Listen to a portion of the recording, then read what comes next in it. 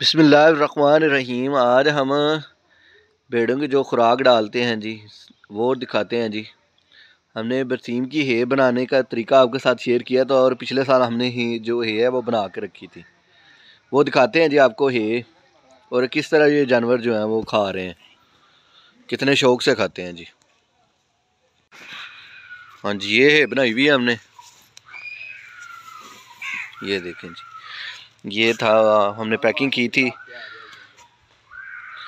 ये बरसीम की है जिसमें पंद्रह फ़ीसद प्रोटीन है। ये हमारी दस बेड़े हैं जी, दस बेड़े जो हैं, वो हमारे एक बोरा जो है, वो तीन दिन में खाती हैं। और एक महीने में दस बोरे जो हैं, वो ये खा जाती हैं माशाल्लाह देखें जी, कितने शौक से खा रही हैं।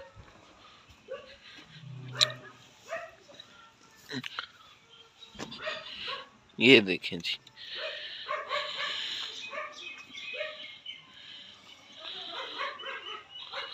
और जिस दिन से हम इनको हेड आ रहे हैं जी, हमारी भेड़े माशाल्लाह अच्छी ग्रोथ कर रहे हैं। दो महीने हो गए हैं। दो महीने से हम यही हमने स्टोर की हुई थी पिछले साल की तो हम यही डाल रहे हैं।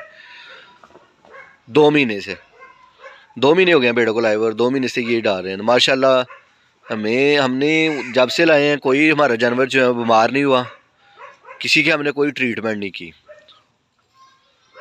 और ग्रोथ भी माशाल्लाह इनकी बहुत अच्छी आ रही है। ये साथ ही हमने इनके पानी के लिए जो है वो बनाया हुआ है ओडी